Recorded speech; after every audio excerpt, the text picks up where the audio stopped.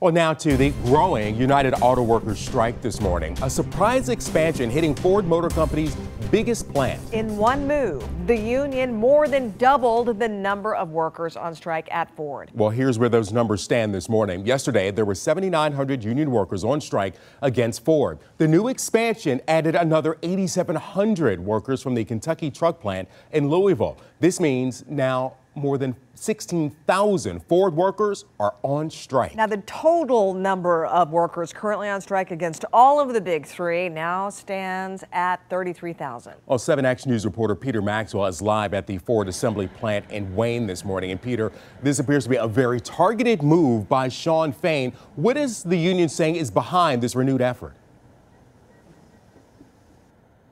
You know, I've been saying this from the very beginning. This is a game of chess, not checkers. And Louisville's assembly plant for Ford, that is Ford's largest factory, and it produces Ford's popular larger SUVs, such as the Ford Expedition and the Lincoln Navigator, and also including their Super Duty pickup trucks.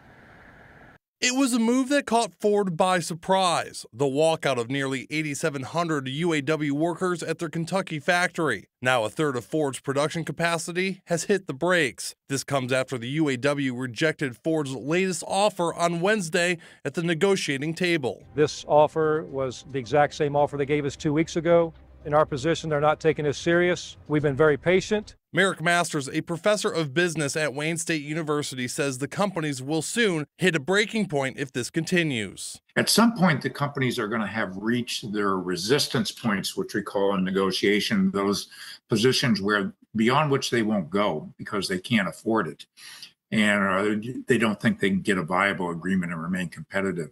And they may be getting close to that. Ford responding to the UAW's latest move, saying they made a record contract offer, which, in fairness, the union has publicly described as the best on the table. Ford also saying, quote, the decision to call a strike at Ford's Kentucky truck plant is grossly irresponsible, but unsurprising, given the union's leadership's stated strategy of keeping the Detroit Three wounded for months through reputational damage and industrial chaos. I think that we're at a point now where Ford and the other companies have made significant offers, and the union has not been countering, which means that they've been pocketing all these concessions that the companies have been made.